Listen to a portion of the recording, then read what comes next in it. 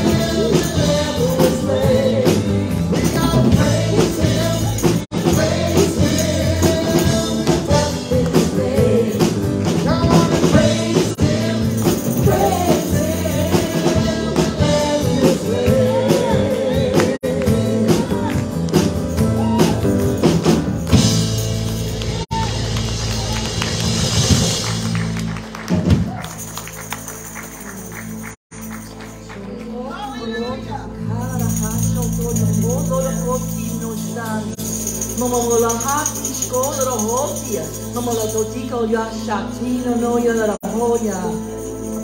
Declarations, declarations, declarations.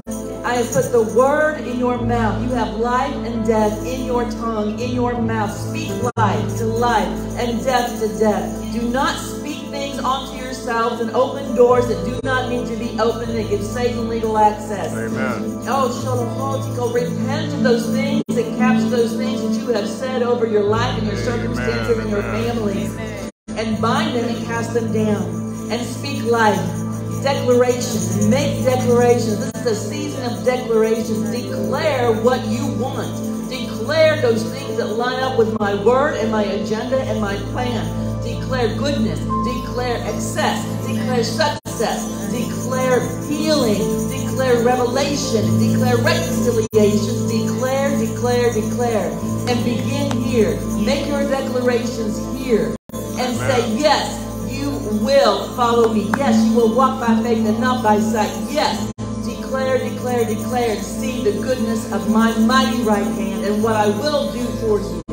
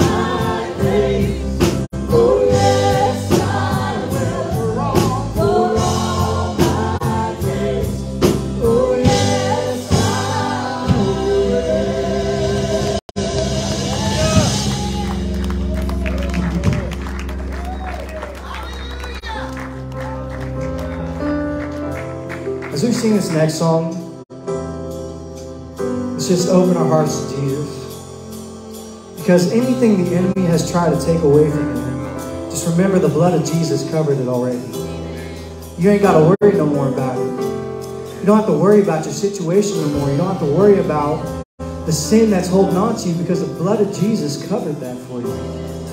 So whenever you're going through something in your life, just know that the power of Jesus, the power of his blood, the power of his name covered it all. So proclaim that over the situation in your life. Proclaim that over the enemy. The enemy has no power over you. The enemy has no power over your family. He has no power over your household. He has no power over this country because the blood of Jesus covered it all. So as we sing this today, just remember it. Proclaim it today. And let that be your anthem that the blood of Jesus covered it.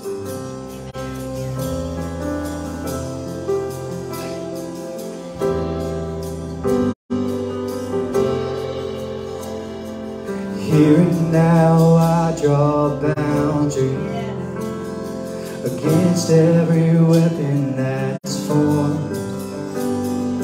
Thief and plans will pass over. This war. I plead the blood.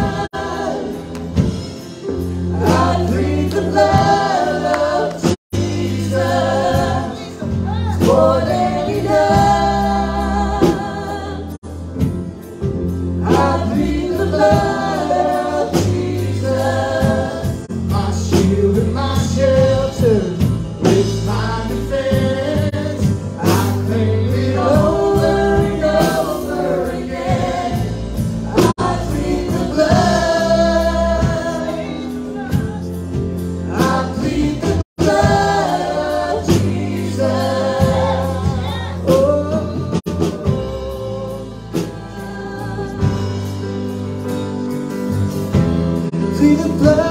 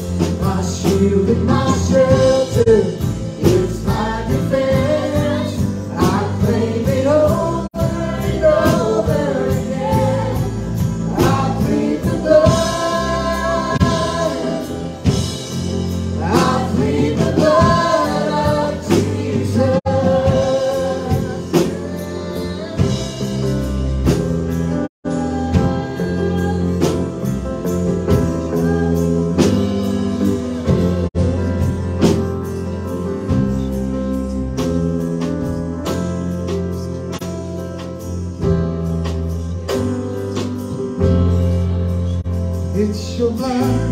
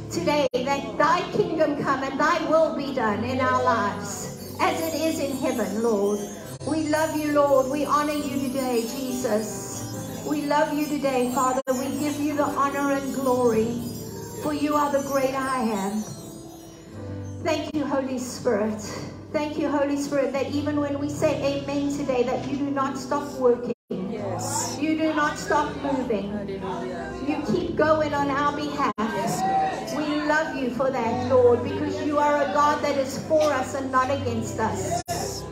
Thank you, Jesus. Thank you, Jesus. Restoration, rebuilding, reclaiming in the name of Jesus.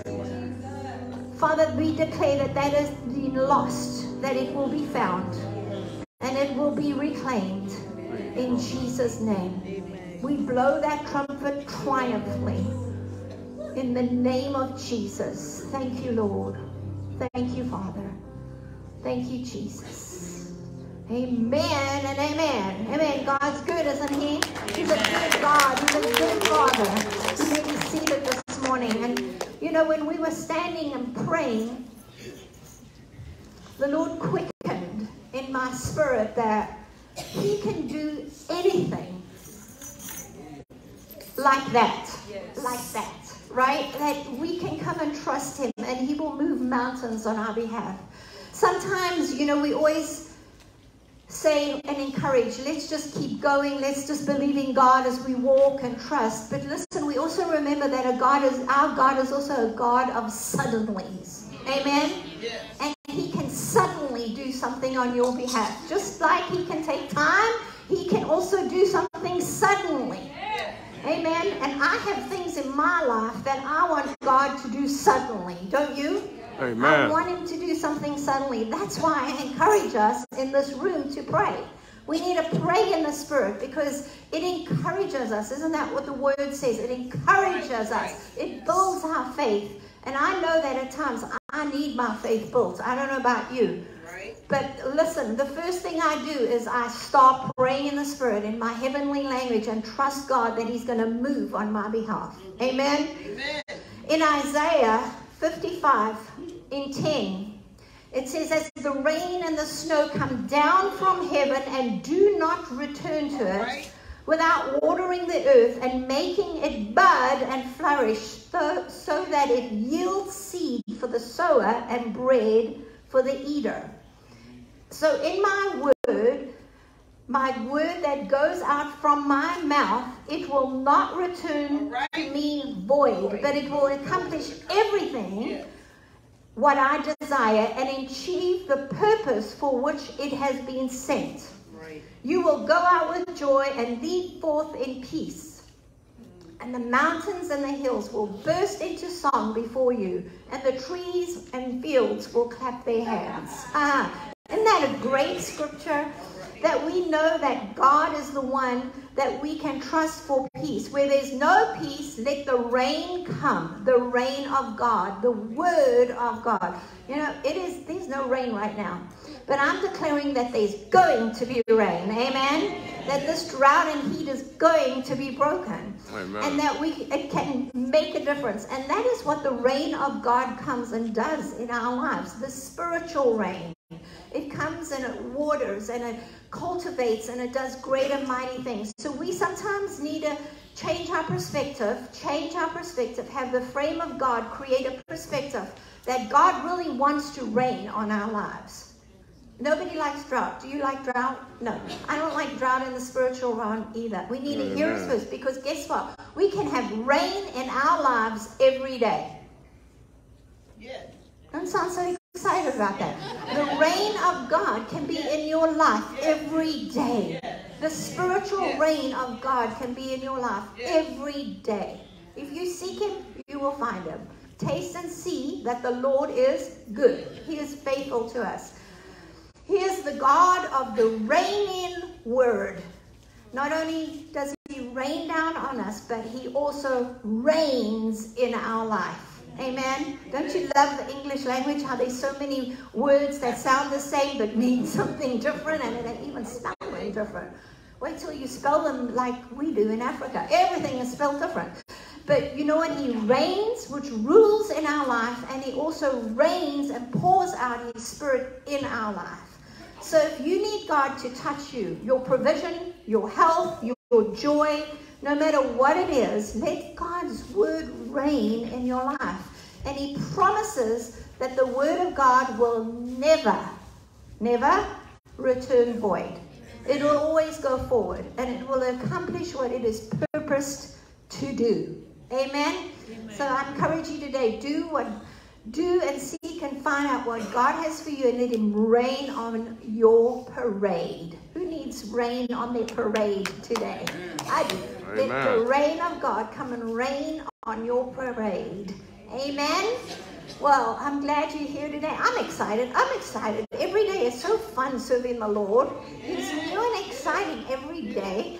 When you read His Word every day, that's the key, is that you need to know this Word so it can reign in your heart. Amen. Read His Word every day. I have a great reading plan. If you don't have one, go to our webpage. It's on there. Pastor created a great reading plan. Read the Word, even when it's monotonous or boring. Read it. It is life and it is the reign of God that we need. Amen. Well, I'm glad you're here today. If you're first time guest, welcome. I'm glad you're here. If you're first time online or watching with us, welcome. There's a guest card or a visitor's card right here if you want to fill that out. If your address has changed or anything is new or you have a prayer request, put it on there and we will take note of that, okay?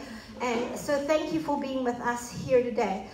We have some fun things happening this week here in the sanctuary. We have VBS coming up. Amen? I know I'm excited about it. Here is my prop today. I have a prop because the theme of it is the game of life. And this is a Rubik's cube. Who can who can do these things? Who wants to do these things? No. Who you can do these? I'm proud of you. I've never completed one. I, I I've never done one. I've never finished one. But it's going to be a fun thing because listen, the game of life is all about God. Amen. Being a part of us and being with us. And so I want to encourage you today, right after service. Miss Kristen said that many of our children have not registered here. We have guests that have registered online that are coming, but our kids here today need to register. So if you haven't registered your children, Miss Leslie's at the back and she will help you register your children because guess what? We need a head count. We're feeding the kiddos, we got crafts for them, we have exciting things and we need to know who we're catering for and how many. You can still register online if you want. There's even a, a uh, QR code right there. And um, or if you go on into your bulletin, there's info how to get registered. Please, we need you to register today. Register your neighbor's kids and just bring them, right? They need to hear about Jesus. And who wants to be out in the heat? It's going to be inside in the nice, cool sanctuary. So come and do that. With all that said, we are decorating this week and we need all the help we can get. So if you can help and commit, even if you can't commit the whole time, but you can come for an hour, Miss Kristen needs it. She is looking a little pregnant there and, she's getting a little tired and she needs more help this year than ever. So let's help her. Today they're meeting at 3 o'clock to help decorate. 3 o'clock here today. Come out and, and help with, um, with that. All the other times are in your bulletin when they're going to be here to decorate. Monday also at 3 o'clock. So come and be a part of that if you can. It's a great time of camaraderie and a lot of fun that um, you can have with them. But also today, once again, we need to um, move all these chairs out of the way. And all the men and women are looking at me like, not again. Yeah, well, that is that way. So right after service, if you can help, um, we would love your help. We're going to move all the chairs this time against that wall so that we can fully decorate in here right after service today. So because um, I also want to remind you this Wednesday there's no service because Tuesday and Thursday night is VBS and then Friday and Saturday is VBS. So there will be no service here Wednesday um, for VBS. We also have a supply, school supply drive. We need these boxes filled out here with all school supplies. If you don't want to bring school supplies, you can donate online. There's a spot that you can hit and just donate and then we will go buy supplies and fill up the backpacks And we're going to hand those out on the 29th of July this year because the kids go back to school like the 10th of August. It's pretty soon. So let's do that. We also um, have, what else do we have? We have um, a singles luncheon coming up. They're meeting July 23rd. That's next Sunday, right after service. We would love to have all the singles go out to lunch. They're meeting right after church and going together. Kim's number is in here, and she will be glad to inform you of anything else you need to know. But you just meet and go to lunch. And then also the youth barbecue is coming up Friday night, the 28th. And this is for all the youth and families. Um, see Milton if you have any questions. And here's his phone number, but we would like to have you join us. All right? Well, at this time, if you want to hand out offering envelopes, that will be great. If you happen to be watching online, if you wouldn't mind um, going and getting to the web page and clicking on giving, it's very easy to give that way, and we really, really um, appreciate your faithfulness in that. So we're going to let Pastor come up and do the offering and uh, welcome you all.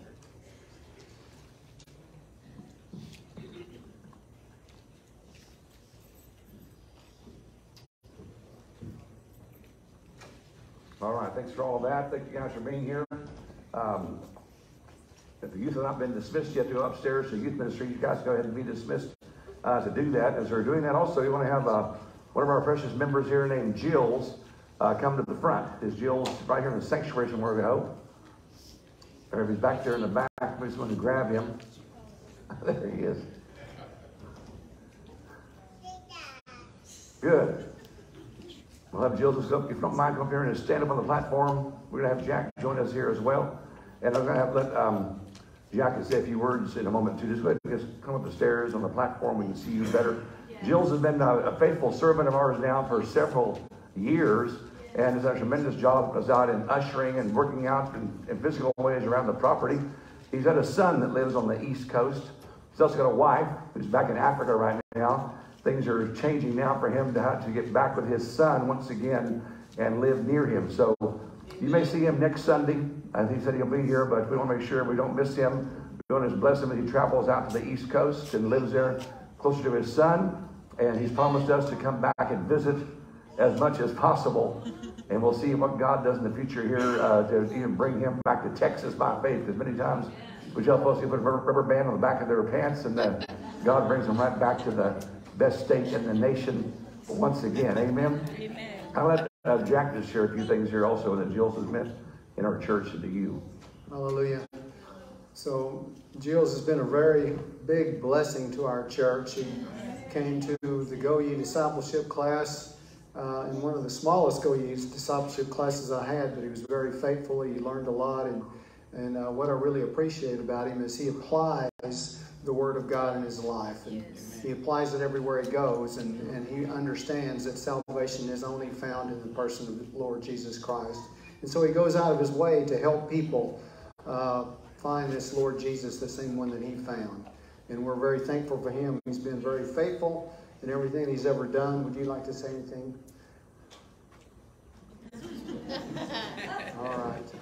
Well, I know that he loves every one of you guys, and we love him, and we're so thankful that we've had him for the time we've had him. But we're going to release him to the Lord in the name of Jesus. All right. Amen. Let's reach our hands and our faith out towards Josie. Let's pray for him. Father, we do speak blessings on this great man of God. Thank you for the call of God in his life. Thank you for his family, Lord. Bless him as he travels. Give him traveling mercy, protection. Uh, bless him, God, with his son, the family, God, the new, uh, the new bride, and all these things that are happening in his life, even for the new job he's going to have in the future. May all these things just come together, uh, all for the glory of your name. We thank you, Lord God, you remove every blockage from before him. We bind any work of the enemy, God, that tries to bring something uh, evil into his life through this transition. And we say only good things happen for him, Father by the power of your name, your word, and your spirit. We just bless him and send him off, God, with our love and our gratitude and our thankfulness. In Jesus' wonderful name, amen. Amen. amen. Praise God. Thank Jill. And I hope we'll see him next week as well. Excuse Um, me, Mike. Yes. One more thing, brothers and sisters. His wife's name is Judith. She's still stuck in the Ivory Coast, and the paperwork is being held up. So I would encourage all of you guys to join in prayer for his wife so she can come to America and be with her husband. Good. All right, appreciate him. Um, we have um, also, of course, important birthdays happening this week, like like most weeks as well. Um, one of our little uh, first our birthdays happened a few weeks ago. Was a little on the front row here. Little Rains with us. This is our newest grandchild of uh, Nate and Sarah's, and she's a still tiny little little baby, but she's growing and getting stronger and bigger every day. So we thank God for a safe delivery and a blessing upon her life. And glad she's finally in church now. Maybe she can get saved today in the service as well. We have a birthday this week for Jesse Carlo because his birthday. He went and saw his mother up in Maine, and so he's going to be fishing here uh, probably today. But uh, I'm going to give him a scripture when he comes back here probably next week. Uh, then I'm watching online here is a Kalla family. They have Paula Kalla. As I prayed about her, I received Ecclesiastes chapter 10, verse 11, that says, If a snake bites before you charm it, uh, what's the use in being a snake charmer? As I read that verse there, I heard the Holy Spirit is telling me that um, God wants you to understand there's giftings in you and uh, that God's going to cause those things to manifest the right time. Otherwise, you're going to find the enemy's going to try to come in there and be like that snake that bites you before you can manifest what God's placed inside of you. And so just keep on exercising the gifts of the Spirit, the faith of God, the Word of God, and don't let the snake bite first. You make sure you bite first. And make sure you're the one that takes and gets that snake back uh, by, by God's authority, by God's grace as well. Amen. And also back to the back row here, we have Maria. Maria Molina is having her birthday this coming Saturday. Give her a hand. God bless Maria. She's uh, from Puerto Rico, but also living here now in Texas, and her family's all with us all, all today as well. We appreciate her life as a tremendous grandmother, mother, woman of God. Uh, Ephesians chapter 6, verse 3 says, If you honor your father and your mother, things will go well for you, and you will have a long life on the earth. As that verse is, I was reading that verse last night, the Spirit of God was saying, because your grandchildren and children um, have been honoring you, you actually have been a blessing to them because you've allowed them to bless you.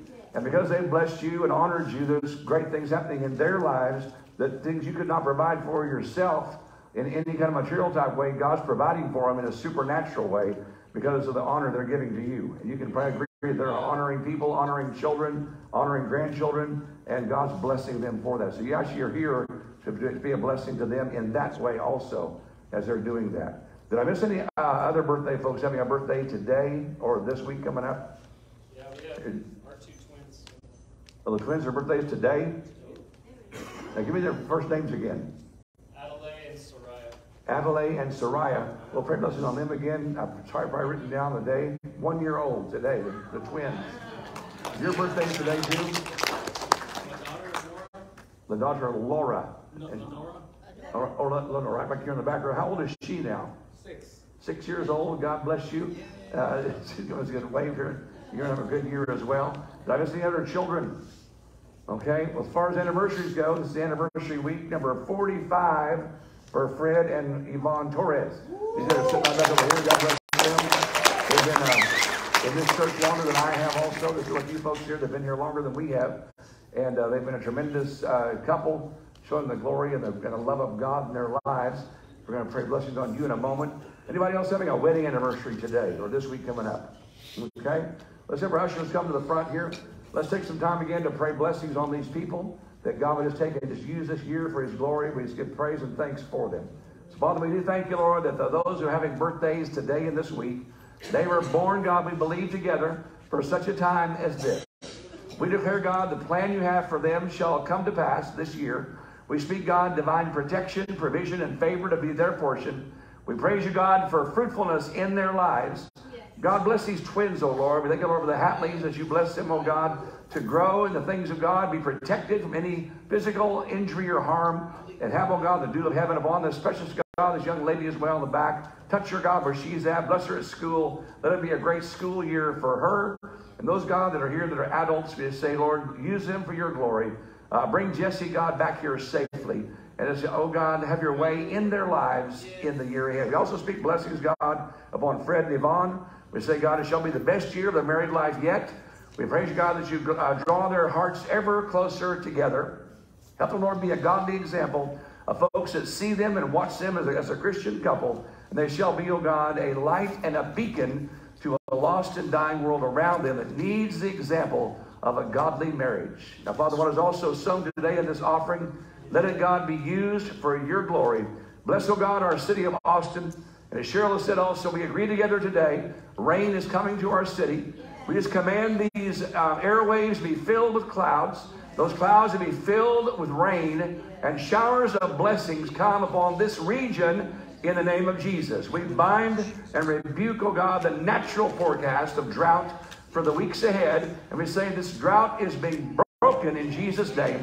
And there's coming forth relief, oh God, to our state, our region, our city, by the power, God, of your Spirit. We thank you, Lord, that you move heaven and earth in behalf, of God, of the people of this region and nature. We thank you for it. Now, God, what is again use this day, we say, rebuke the devourer for thy name's sake in our behalf. Help us, God, be wise stewards of all that you give us and cause debt to be broken off our lives. We thank all thank you for all these things in Jesus' name. Amen. Amen. God bless you, ushers and usherettes again today, helping us out here with this offering. And we're going to start a brand new series here for those that are in the sanctuary, those that are watching online. Um, it's called Restoring the Cutting Edge. I'm always praying about um, the series we do here, uh, what God is speaking about, what God is saying to, to be doing, and what God's doing in the spiritual realm. And I really sense, you know, that God is um, going to start causing His people to have the ability to get a whole lot more done with a whole lot less effort as they start relying more and more upon the Holy Spirit to work in them and through them as well. You might have heard of a story years ago about how there was a contest among lumberjacks in Canada. It happened every year, and uh, the two lumberjacks came together to start. When the starting bell was going to be uh, going off, it didn't go off. They had this great big old giant log to cut in two, and the first lumberjack actually went over and started sharpening the edge of his axe, while the other guy started chopping away at the wood. The guy sharpening his axe took about five or six, seven minutes to get his, his axe to a very, very sharp edge. And even though the guy had a five or six or seven minute head start, he still lost the race because the guy with a sharper edge was able to cut faster and cut better and cut more thoroughly in that wood himself. I'm talking this morning here about having a blessed family. I believe God wants to restore the cutting edge to our families in this hour, in this season. Amen. The book of Ecclesiastes, chapter 10 and verse 10, it says, If the axe is dull and one does not sharpen the edge, then he must use more strength. But it says, Wisdom will bring success. So I believe God's going to give us some wisdom keys today. Those that are here that are grandparents, those that are parents, those that are singles, as well as all for all of us to receive some good things because all of us touch people that are either in families or we're part of a family ourselves. And how many would agree today the family is being attacked like never before in our nation and nations of the earth? Proverbs chapter 27, verse 17, the New International Version, it says, As iron sharpens iron, so one man sharpens another. So we're believing God that His word will sharpen you as I speak the word of God out of my mouth today. May it be as iron sharpening iron. May it not just be my words, but also be God's word to you because some of you folks will be having kids, some of you have children, some have grandchildren, but all of you influence people in local churches like this as well. And God wants you to be one who is iron sharpening iron because God wants godly families.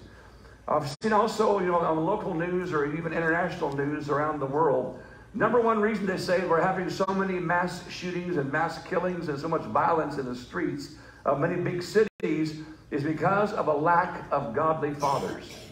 Fathers are not taking their role to raise up their children in the way and the, the fear of God. Amen. And so when fathers actually love their children like God loves us, you're going to find the children most of the time, almost all of the time, will not grow up to be murderers, I mean mass murderers, and be those involved in serial killings and things of that nature because the love of God will flow into them even through their natural fathers as well. The last chapter of Malachi, last chapter of the Old Testament, before there was 400 years of biblical silence in Malachi, it says, I want, to, I want to return the hearts of fathers back to the children, and the hearts of children back to the fathers, or I will strike the land with a curse. So God says either or. Either the hearts of fathers go back to children, children back to fathers, or there shall be a curse upon the nations who do not do that, is what God's word is saying. How many folks know that God never lies and God never exaggerates? That word that God gave is true, so it's up to us as Christian people, believers of God, to have strong, godly families as much as we can. So let's write some things down today. I'm going to talk about the um, some truths about family, some things to take home with us here today and put into practice. We're going to pray at the end of the service as well for the families of our congregation, those that are watching online. And I'm going to also believe God to hear His voice because God wants to speak some things to us about families that are here in a specific type realm as well. I really believe we are really blessed to have some great mothers and fathers in this church. Great godly mother, grandmothers and grandfathers as well. You're already doing that which pleases God, and you're already bearing fruit from that that's evident to people in this church and around our community as well. But God wants to increase that. Amen. God wants to restore the cutting edge in our families once again for many peoples. Number one is this there are family values that actually bring godly results. In God's Word, there's family values that will bring actually also godly results. Now, again, we've all discerned here our families are under attack. But again, the God's Word tells us families can be healed as nations can be healed when people humble themselves, pray, and seek God's face. You know, I love that movie. Those who came here and saw that on Wednesday night, uh, I think it was called Faith for Potatoes. Never saw it before. But I've heard a whole lot about Angus Buchan. He's a prime example of how a man was totally dysfunctional, a father in his family, and all of a sudden when the Spirit of God came into his life and he got saved and born again and spirit filled, all things began coming in line in his family. And now he's blessed and not cursed. And in that movie, at the end, they showed a miracle where though there was drought in the Ladysmith area he lived at in South Africa, where Cheryl lived at herself for about a year, even though there was drought and no rain, God did a miracle and caused great big ripe, big vibrant potatoes to grow underground with no water and no rain. You see, God can bring potatoes from faith. Amen.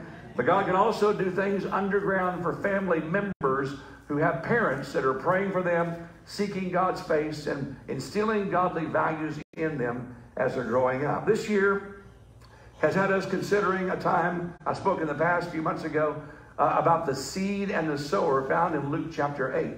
In that parable of Jesus Christ, he talks about four kinds of soil and the same kind of a seed. And he shows that in two of the kinds of soil, it was bad soil. There was soil that was rocky, and there was soil that was a path that men walked on. But there was good seed sown on the on the uh, or good seed sown on bad soil that brought no crop and brought no fruit. Then he spoke about bad seed on bad soil. He said there was a time where the weeds, or I'm sorry, bad seed sown on good soil, where the weeds and the things that were of, of, a, of a rotten nature were sown into good soil and it sprang up or sprung up, better English, and it choked out the good wheat that was around it. Then it said finally the fourth kind was good seed sown on good soil. And it says that seed caused a springing up of good wheat that brought forth some 30, some 60, some a hundredfold because it was good seed on good soil. Let's read now about this in Luke chapter 8 and verse 15, New Living Translation. I'm going to read from this today. It says, The seeds that fell on the good soil represent honest, good hearted people who hear God's word, cling to it, and patiently produce a huge harvest. So as you read that verse there, there's a whole message in that verse but it says there's three main ingredients to folks producing a huge harvest in their lives. I believe all of us want our children to far exceed what we exceed, did ourselves in our time, the short time we've lived on this earth. I want my kids to be more anointed than I am. I want them to, to bear more fruit than I've borne. I want them to see, to see things, more things than I've seen myself. We want our children to be blessed. Amen? So how do we do that? Well, it says here, first of all, Practice these three dynamics. First of all, be good hearted. What does good hearted mean? Well, the Bible says there's none good except for who? God. Except for the Lord. So it means be God hearted. Have your heart full of God. Do all you can to make sure in your family God is first and people are good, God hearted people in your family. Then it says, hear God's word. I think in families it, it should be evident that we're hearing God speaking to us in our family growing up, you know, Cyril on the front row can verify this as well. That um, we had dream, God, we would dream dreams. We'd share dreams that God gave us overnight. We get sometimes prophetic visions. We'd hear God speaking about certain things around us. We'd sense things and discern things. And we'd read Bible stories and watch things on the TV and listen to CDs of Christian music and so forth. Let God's word fill the house up and it brought forth results. But also says, don't just hear God's word, but also cling to God's word. Now that means to hang on to, hold on to, and use God's word in times of trouble and times of turmoil. Amen? How many here have ever cl- clung to God's word and seen God brought you through tough times and bad times? Amen. Because you would not let go of a word that God gave you, a scripture in God's word. When Satan came in like a flood, God came in and pushed back the powers of darkness because you, was cling, you were clinging to a word from the Lord and a scripture from God Himself. So many times when Satan's attacked us in our finances, perhaps in our marriage, in things or stuff, or our, even our emotions, our minds, we find a scripture, we cling to it, we speak it, we confess it, and God shows up and God shows himself strong and mighty every time. And as Susan prophesied this morning, it's a time of declaration to declare what God says, cling to that, confess that, and believe that what God says is going to come to pass. Amen. You know, you know I'm just stopping here because I, I was I told my family here yesterday that I was so perplexed that um, two weeks ago, ten days ago, last weekend, there were people everywhere at all the restaurants, all the highways, all the byways. There was just a crowd everywhere for some reason last week. Yesterday, 79 was empty. Uh, Hutto was empty. Restaurants were halfway empty. There was a real, just a, a real dearth there of things going on there. And the Holy Spirit was like telling me, you cannot go by the things that are happening in the natural realm around you to see what I'm doing myself. Mm. Though you see things seem to ebb and flow in the natural realm around you, don't let that influence you in your in your walk of faith with me, says God. You cannot live by sight, you got to live by faith. Because the fact is, the same number of people still live here. They got the same cars, they got the same whatever around them. It's just there was things changing as far as what I was seeing with my eyes this last weekend. But God's saying, don't, again, don't ever get in the realm of, of seeing things by the natural eyes only. See things also by faith, because I am bigger than you think. As I'm here this morning speaking the word of God from this pulpit, I'm, I'm already believing God as I'm speaking God's word, God is healing bodies. God is setting captives free. God is unraveling tactics and schemes of Satan in your families by the power of his spirit. I don't believe I'm just speaking the words of a man. I believe I'm speaking the words of what God wants to be spoken today that's going to bring forth lasting results. And his word, like you said today from Isaiah 55, will not return void. But it will set forth today and accomplish what God wants it to purposely accomplish by his spirit. We want our children to have good soil in their family relationships that will bring forth also a huge harvest in their lives as well. And so these three dynamics need to come to come to pass. Having a healthy family also is more challenging now than when I was a child myself. There are more things that children can find themselves involved in that are evil today than there was 40 years ago. And those that are over 50 years old will say amen. amen. And yes, that's true. They've got more channels, they've got more media, they've got more things that, that access by computers. There's just things around us that are more evil. Folks are acting different, speaking different. Kids that are four and five years old are learning things that our my generation would not learn till they're teens or even early 20s sometimes. And it's just we're changing, the world is changing in many ways around us. Amen. One father and one husband in our church told me before church a few weeks ago, I said, Why do you always have the ability to come our services here on Sunday mornings? You're always upbeat and you're always smiling from ear to ear. What's your secret for that? He goes, Well, my wife and I drive separate cars. now, I'm just joking because I can't point anybody out in the service about that today. But that's the sad truth sometimes. Because of the COVID phenomenon, some folks don't want to be together as much as they were years ago. I pray that God restores the cutting edge back to husband's love for wives and wives loves the husband, love the husband once again. If it's gotten dull, may it be sharpened by Cupid's file this day in Jesus' name. Amen. We need to realize that great families don't just happen automatically by themselves. It takes some work. Nehemiah chapter 4, verse 14. I'm going to read the New Living Translation on this. I'm going to read this verse twice in this message. It talks about Nehemiah. God called him. He saw the walls of Jerusalem had crumbled. Their defenses were gone. And it seemed like it'd be totally impossible to ever put that, but that boundary protection back once again. Yet God told him, I want this, I want this wall rebuilt once again. So verse 14 says, Then as I looked over the situation, I called together the nobles, the rest of the people, and I, and I said to them, Do not be afraid of them, the enemy. Remember the Lord, who is great and glorious, and fight for your brothers, your sons, your daughters, your wives, and your homes. That's what God is saying today. You see, the walls have crumbled many ways in our country. There's gaps in this nation. You can't allow the kind of sin we've allowed to come into our country and not have some gaps take place in your country. Amen? There's some gaps. That's why God is calling us also to intercessory prayer. Because it says in Ezekiel, I look for a man or woman to stand in the gap. And may God find some. Amen? May it not say to of us, and I could not find one. May it say of us, and I found some. And they stood in the gap and they pushed back the powers of darkness by God's Spirit. I believe in the word, this word them in Nehemiah 4.14 is talking a lot about our culture. Our youth, our children are facing a culture today that is overwhelming in many ways as far as the flesh is concerned. But I still believe greater is he that is in them than he that is in the world.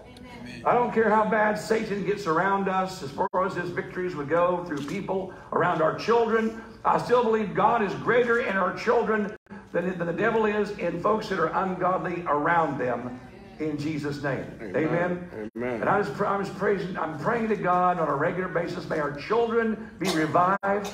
May they be restored. May they be filled with the fire of God. May they have a Bible relationship with a living God. May they hear God's voice and fall in love with Jesus so much that tears coming down their face is common because the Spirit of God is coming on them and caused them to get blessed so much they just can't help but cry and weep before God's presence because God is so good in their lives. Our children can have that, amen?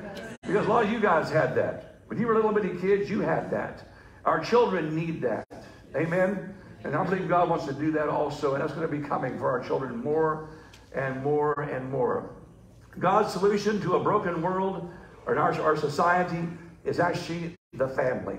God, God began with the family with Adam and Eve, and then their children were born there. God began with families, and God still blesses families for the nations as well. Psalm chapter 68, verse 6 says, God places the lonely in families.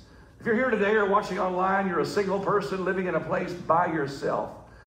The local church, a place like this, is a place to plug into because there'll be families here that will embrace you. They will love you, they'll relate to you, and they'll spend time with you. And you'll find yourself going into families. Amen? You know, Jules again is a good example of a guy that comes from a foreign country. He's now got great friends, folks that laugh with him, play with him, do things with him beyond the church. And they're going to be friends for life in his, in his life as well. God takes folks that are by themselves, puts them into families to bless their lives. Amen? If you read the entire chapter of Psalm 68, you're going to see that God wants it to be a father to the fatherless, to help out the widows, to help out the orphans, and to set prisoners free from their bondages.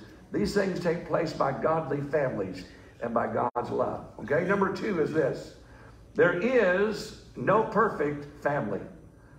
Let's say amen. There is no perfect family. Even our family is not perfect. Right here in the front row, I got a prime example of that as well. You know, Sarah's, here, Sarah's only here. Sarah's only here once in a while right now, so I'm really going to pick on her badly because Christian's not here, Daniel's not here. I'll pick on her. But no, Sarah's as close to perfect as you can get. But even Sarah is not perfect. Amen. Cheryl is not perfect. I'm not perfect. There's no perfect family on the earth. So what am I saying? Well, because there's no perfect family on the earth, there is a lot in the Bible about dysfunctional, imperfect families. The Bible talks a lot more about dysfunctional families than it does functional families. You got to realize in the, in the Bible, the first family, Adam and Eve, had two sons, and those guys, Cain and Abel, one killed the other. That's the first kids born on the earth. One's a murderer. It's a dysfunctional family. I mean, folks know when you kill your brother, you're in a dysfunctional family. Then you got Abraham comes on the scene. Abraham is having a relationship with a prostitute. Actually, he does, hears God's voice, disobeys what God says, and births Ishmael, and does things different times in his life that's totally against what God says, yet God calls him the father of many nations, the beloved of God, and the man of covenant. You find Isaac. Isaac is the son of Abraham. This guy shows favoritism, and he likes um, Esau better than Isaac.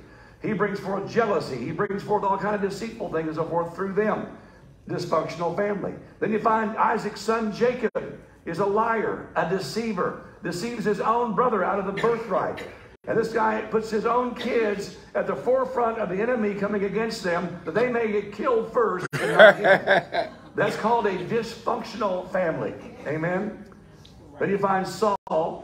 Saul was a big mess. He was a guy that got involved in witchcraft, consulted mediums, uh, was a guy that was out, out, for his own good, his own honor, his own statue, his own name. You go beyond him to King David, beyond him. King David committed adultery with Bathsheba, had, his, had her husband murdered, and was a guy that counted the armies of Israel, and God said, Don't do that. Dysfunctional family. His own son, named Solomon, becomes king of Israel, has over 1,000 wives, and turns his own heart away from God and towards idols.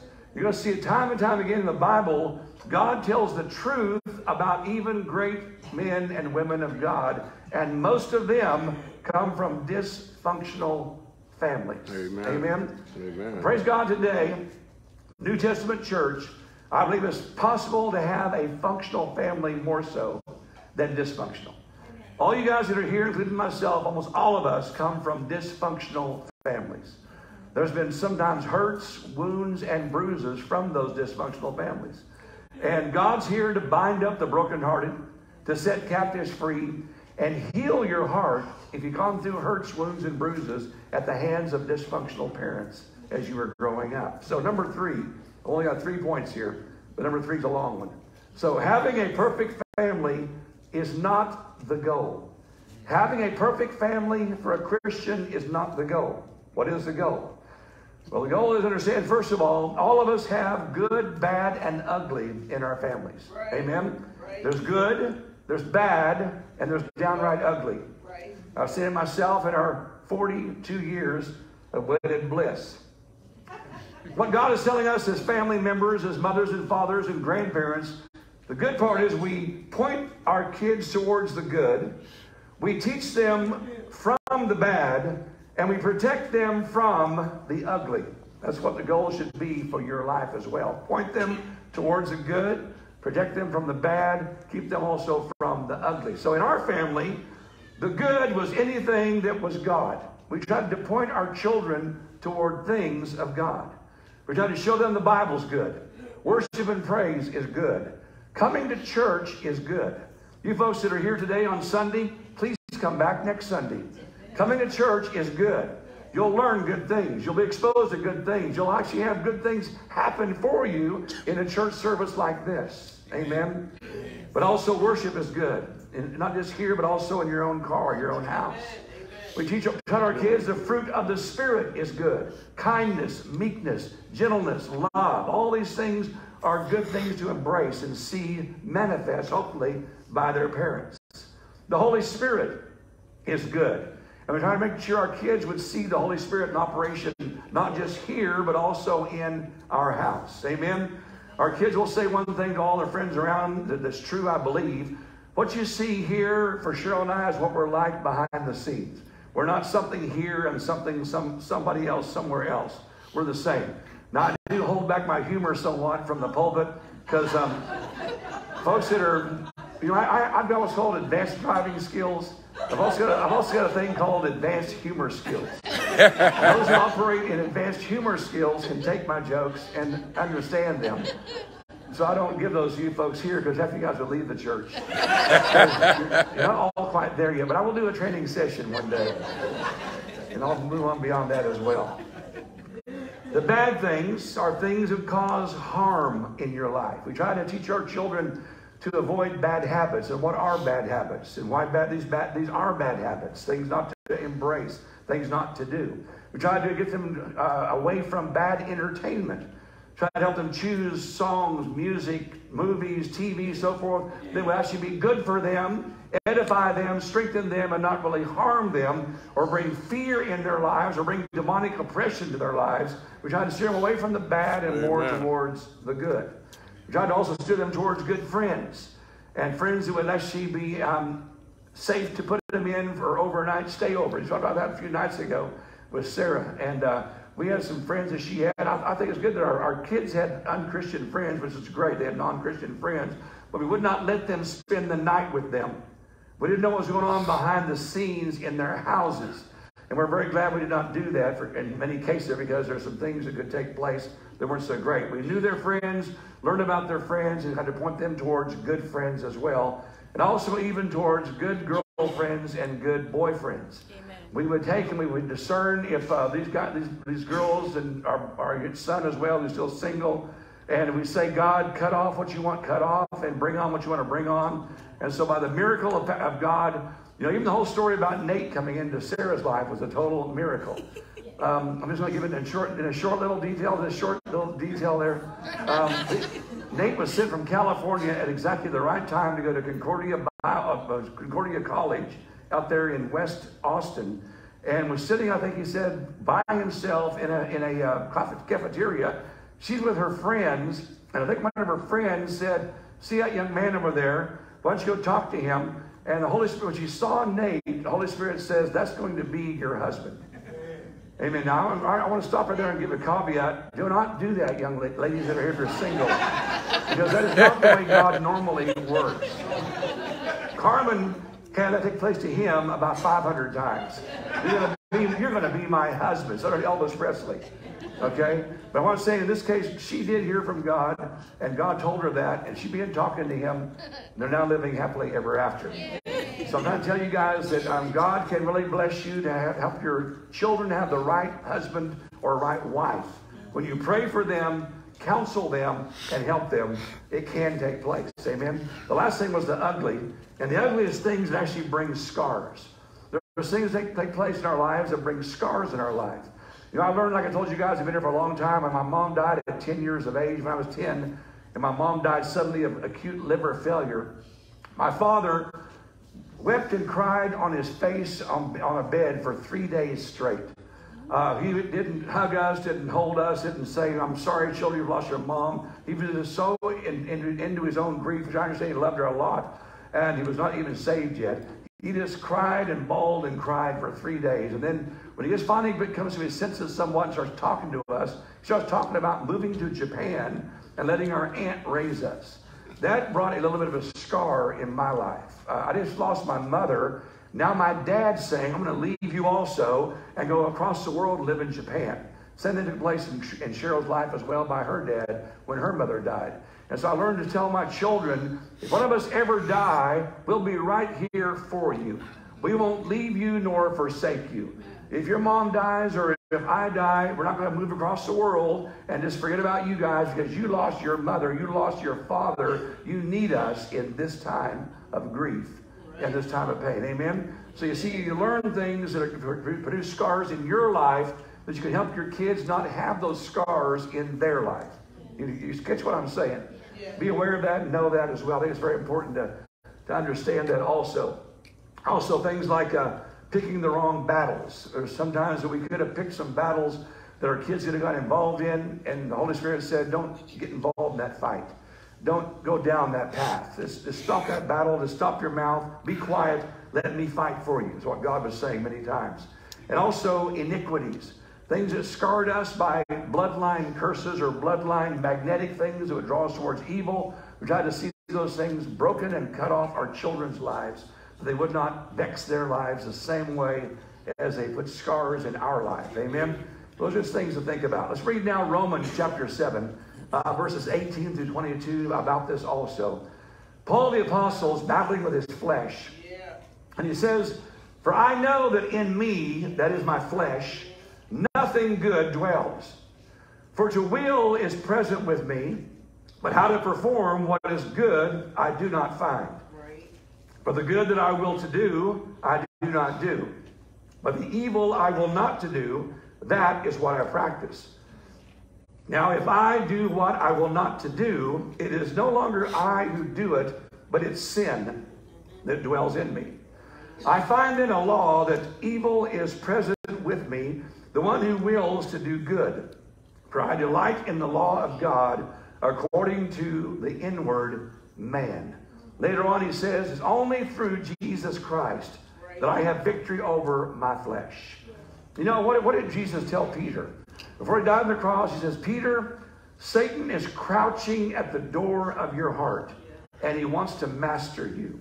You got to realize that Satan's got demonic spirits or evil spirits watching you all the time. And they want to find, they want to make sure that you get tripped up and that you have opportunities to sin and do things that grieve God's Spirit or give them a place in your life. Okay? Be aware of it. Don't be afraid of that. Don't be um, paranoid about that. Just realize that. That's why it's important to pray, put on the full armor of God every day, bind the powers of hell and darkness, take up the full armor of God, the shield of faith, and quench every fiery dart of Satan on a day by day basis. Amen? That's why it's so important to do that as well. You know, again, I'm not, I'm not, um, I shouldn't go that way, that far this way, but um, I just want to say again, uh, I'm not mad about this. This movie I saw Wednesday night about the little, boy that got crushed by the tractor and got crushed and killed. But that was an unchristian family. And I did the same things that little boy did in Missouri on tractors. I got on the fenders, we got on the back of them. They almost tipped sideways in ditches with us. We went on um, the back end of pickups going 70 miles an hour down gravel roads, hanging on by one hand to the little chain on the side of the tailgate. We did all kind of junk like that, but because I believe God gave us angels, we did not get killed or broken bones one time. That was God's grace. Amen. And so we need to be praying over our children, praying over us on a day by day basis, because Satan comes to kill, steal, and destroy. But God comes to bring life and life more abundant. Amen. So be praying about that also. How many of you have found also that your mouth can sometimes write checks that you have not put enough emotional deposit in your kids' hearts to be writing those checks? What I'm saying is, you know, when you tell your wife or your kids you love them, you do things for them, you serve them, they know you love them unconditionally. You can say some things once in a while that would actually cut them to the bone otherwise, but because you put so much in their spiritual deposit of their soul, they can take it. They can hear it, and they know you, they know you love them. They know you're joking. They know you're not really just telling a, a full, just a real serious thing there. But if there's a real dearth there of emotional deposit in your wife, husband, or children, you can say the smallest little thing and they'll get offended by it. They'll get ticked off by it. They'll get angry about that. They'll shut down and they'll cut you off. Amen? So God is saying, be aware of the spiritual deposits you're putting in your family members' lives. Is it big enough to say what you're about to say? Did you hear what I said there?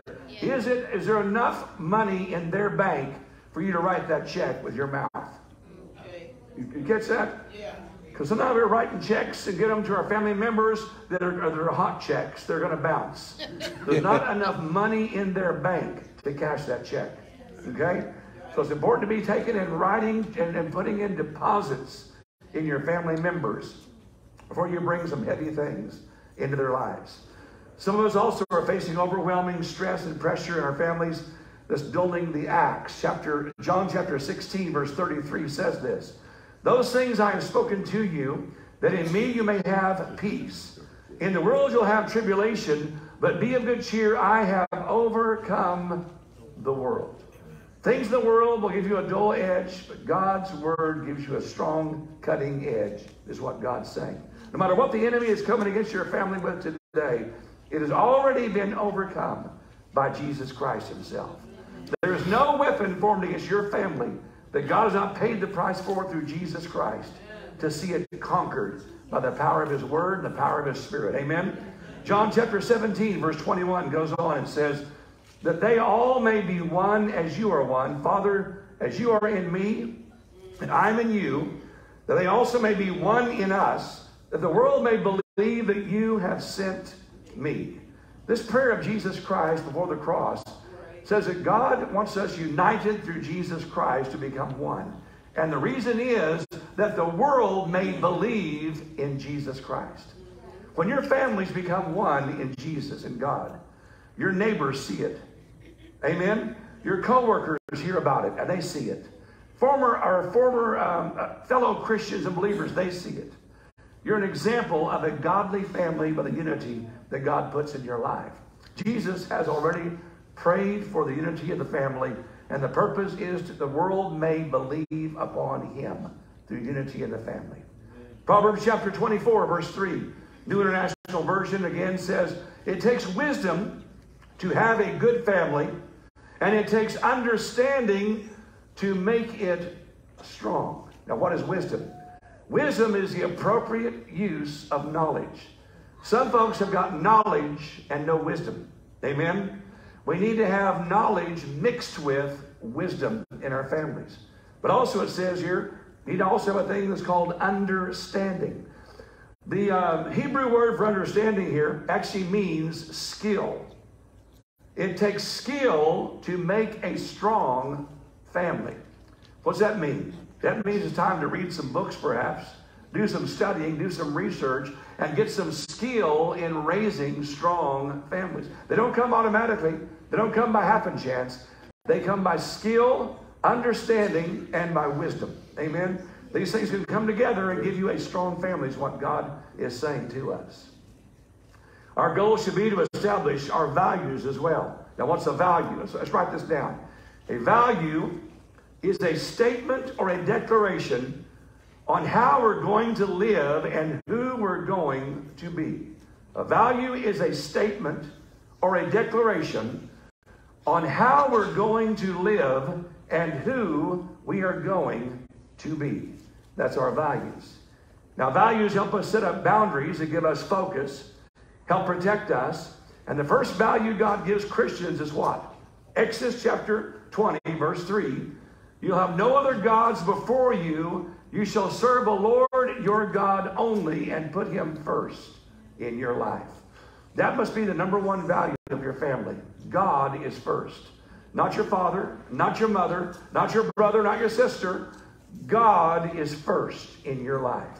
When God is first, he says, Seek first my kingdom. All these things will be added to you automatically when you seek his righteousness and seek him first in your life. Our goal should be to establish values.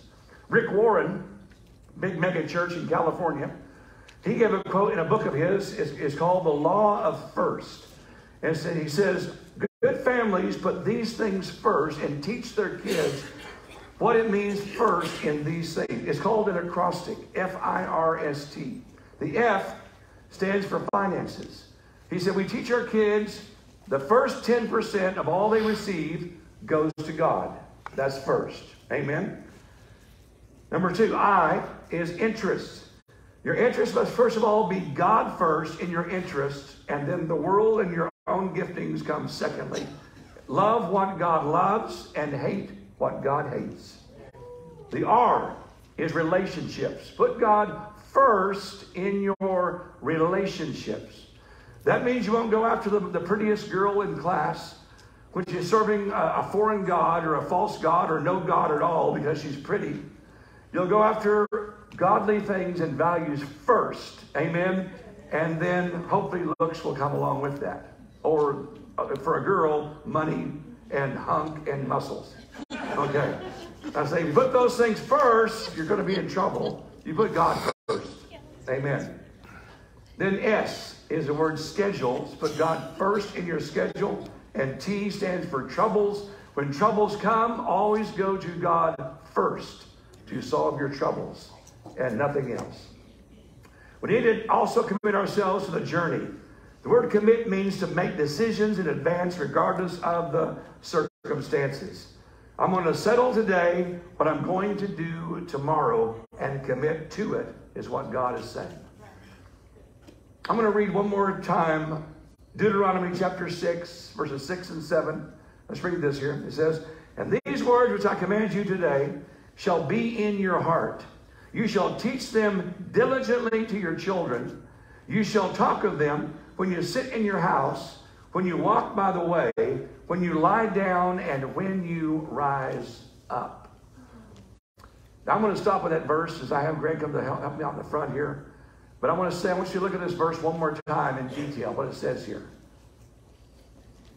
These words I command you today shall be in your heart. You shall teach them diligently to your children. You shall talk of them when you sit in your house. So when is that? When you're in your home, somehow, some way, God is saying, make sure you diligently, diligently interject God in your house. Through prayer, Bible reading, worship and praise, examples, whatever. When you walk by the way, what is that? When you go to shop for groceries, you go to shop for toys or clothing, you go to come to church, this is walking by the way. You show God in that. When you lie down at night, show God the last thing that children should be hearing is about Jesus and about God and I love you. Amen. Every night, you know, Sarah can testify as well. Sarah does the same thing for her kids too, I think. Is we told our kids a night night story. We'd make it up in our brain, some loony story. And we tell them how much God loves them. And we say, and I love you. And when some story's all done, we say, okay, little Sarah, it's time to sit up. And I put, put my hand behind her neck. And I'd sit her up and I'd throw her on her pillow, lay down, slam her on her pillow, and she'd smile real big and go night night. We did every single night, and we sang, and we told them we loved them, we cared about them, we held them, we embraced them, we pointed them towards Jesus Christ. But also says, last of all, and when you rise up, when you get out of bed in the mornings, the first thing your children said, this is the house of God. As for me and my house, we will serve the Lord. We're going to pray here. I'm going to ask God to take and strengthen the families of our congregation because I'm really hearing God's Spirit speaking to me a few weeks ago on this series.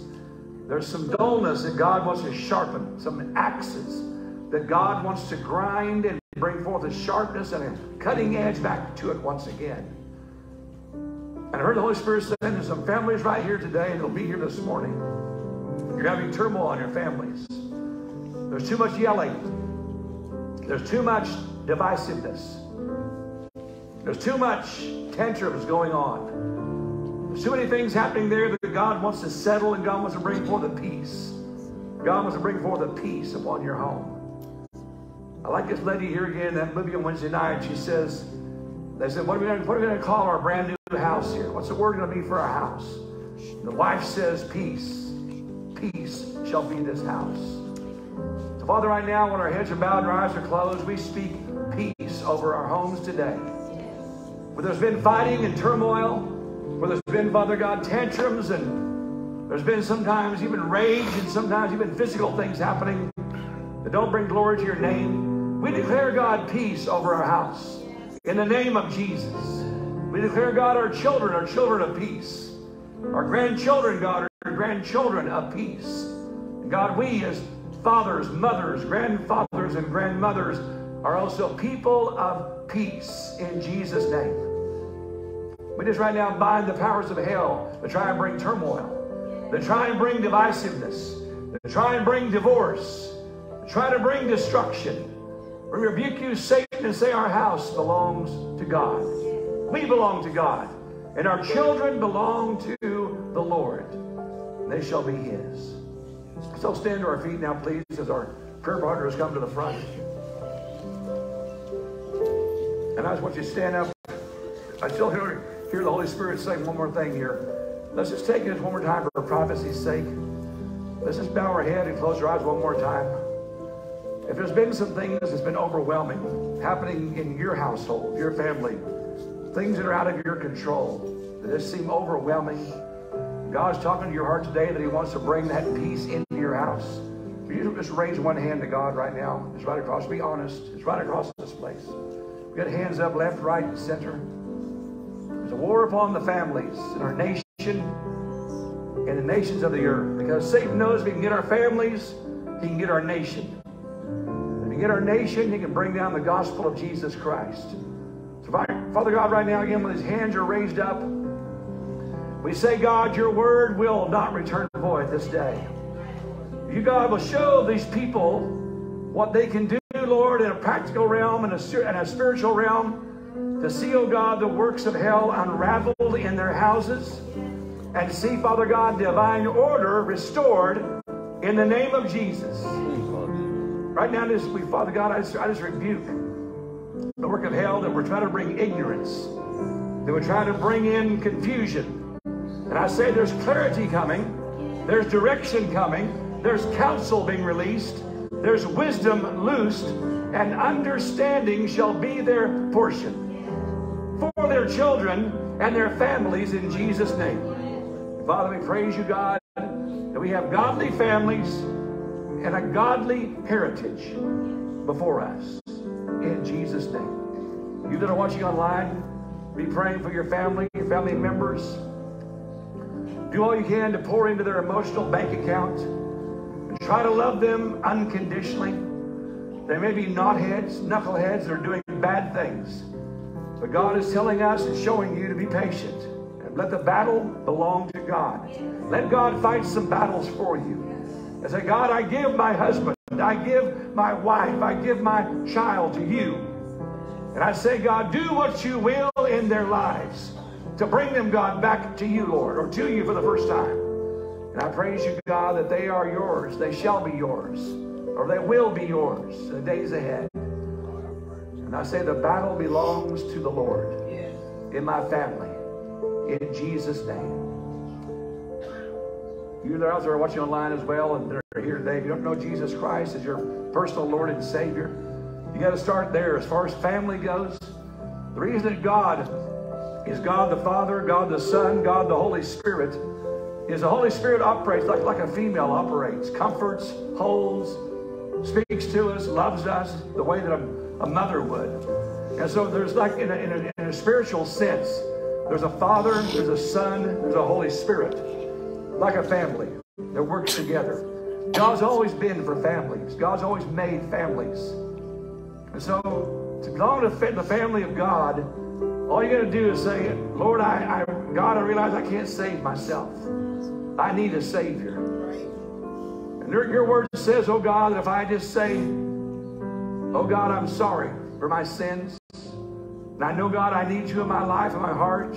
I ask you, oh God, to come inside of me this day. Be my God, be my Lord, be my Savior. You'll hear my prayer. So, Father God, I call upon your name this day. And I say, Lord, I receive you in my heart through your Son, Jesus Christ, died upon the cross and paid for my sins upon Calvary. Be my God, be my Lord, be my Savior. I accept your forgiveness, receive your forgiveness. I thank you, Lord, for living inside of me from this day forth. Help me now, God, to follow you in your ways. In Jesus' name. Thank you, Lord. If you pray a prayer like that today, or anytime God hears that prayer, God answers that prayer. If you're in that congregation, you prayed that today as well, please come to the front at the end of the service. Find one of the prayer partners here to get with them. They've got some materials for you. They also want to talk to you and pray with you some more, perhaps, about your decision. Amen. If you need to receive prayer today about healing your bodies, financial issues, relational issues as well, these prayer partners here to pray for anything you want to pray about today. Prayers of agreement. And thank God we have anointed prayer partners. They're seeing real results take place. They pray for people. God is touching individuals in just miraculous ways. We thank God for that. Amen. God is so good. Alex, don't mind get the microphone. We'll Let Alex dismiss us in prayer here in a moment. And there's going to be a sign up you sit in the back as you leave for Vacation Bible School. Please try to see um, listing for that. And then also we're going to have some young, some men and some uh, stronger ladies. You don't mind, help us to move chairs to this side over here. Right? It's this wall over here, all of them over here, stacked up. God bless you for your help on that. Have a great week coming up here. And thank God it's cooler in here than it is out there.